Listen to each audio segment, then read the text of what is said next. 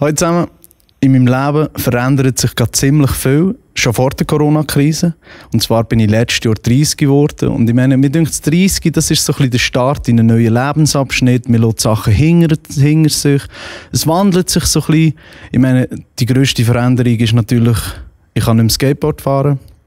Aber auch sonst, mir ist zum Beispiel aufgefallen, ich gehe nicht mehr so gerne in Bars. Ich gehe nicht mehr so gerne in Ausgang. Nicht unbedingt, weil ich nicht mehr Party mache, nicht mehr saufen, nein, überhaupt nicht. Ich habe einfach nicht mehr gerne Leute. Ich habe keinen Bock mehr auf einen Tanz. Wisst ihr, was der Tanz ist? Tanz ist, wenn man irgendwo ist, in einer Bar, man ist am Lachen mit seinen Kollegen, eins am Ziehen, dann kommt jemand rein, den man kennt, aber man kennt sich auch nicht so gut, man hat sich vielleicht mal beim Arbeiten gesehen, aber man weiss den Namen nicht mehr, dann ist der Moment zum Hallo sagen vorbei, fuck, jetzt schaust du extra in die Richtung, sie schauen extra in die Richtung, jetzt stehen sie an der Bar, nehmen dein Getränk ist leer, jetzt gehst du dorthin, fuck, jetzt musst du gleich Hallo sagen, hoi, wie geht's, ja, die nicht gesehen, ey, mit neben mir. Schau, zwischen bin ich 30, habe ich gemerkt, wie kindisch das Ganze einfach ist. Und jetzt gebe ich mir aber einen Ruck und wechsle ein Bar. Apropos Bar, vor der Corona-Krise habe ich so ein Plakat gesehen. Dort ist gestanden, Jägermeister, jetzt scharf. Und das ist wohl die dümmste Idee, die ich je in meinem Leben gehört habe. Ich frage mich einfach, was passiert bei Jägermeister? Was läuft bei dieser Firma? Also sind dort alle Chefs so in einem Büro inne und dann sagt der CEO, Guys, wir müssen etwas machen.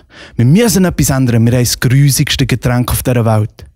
Wie könnten wir es noch grusiger machen? Hm, hm, hm. Scharf. Das ist es. Perfekt. Grusiger geht es nicht mehr. Beförderungen für alle. Ich glaube, es ist in der gesamten Menschheitsgeschichte noch nie jemand mit einem Double von Jägermeister-Shots an den Tisch gekommen und gesagt, hey Leute, ich habe uns Shots besorgt. Und alle haben gesagt, yes, perfekt, das ist eine super Idee.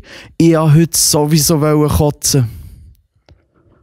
Auch etwas, was sich verändert hat in meinem Leben, ist, immer wie mehr Leute in meinem Umfeld bekommen Kinder. Kollegen, Kolleginnen werden älter. Und mir ist da so ein etwas aufgefallen, so ein kleiner Unterschied zwischen den Generationen. So ein ein Generationenkonflikt zwischen der Generation von meinen Großeltern und meiner Generation, wenn es um Namen geht. Mir denkt, wenn du in heutiger Zeit ein Kind bekommst, ist das Allerwichtigste. Das Allerwichtigste, dass das Kind einen Namen hat, den sonst noch niemand hat. Wenn du jemanden kennst, der den gleichen Namen hat, mh, gerne, so können wir es nicht nennen. Weil es aber die meisten Namen schon gibt und weil die meisten Leute unkreative Pennen sind, nimmst du einfach einen bestehenden Namen, nimmst einen Buchstaben weg. So wird zum Beispiel aus Selina, Elina, oder aus Elena Elea oder aus Philipp Philipp ohne I.